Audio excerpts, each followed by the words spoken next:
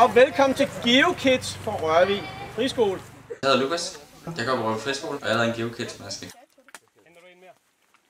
Menneskene var bange for uhyre og var glade for... Flyt sådan en stor sten her. Nej. Hey, det sagde, hvad med den her? Kom så, Jørgen. Vi skal have tegne nu. Hvor skal man tegne der, eller? No. De sagde, han sagde, at øh, man må Man skal bare tegne det, man så.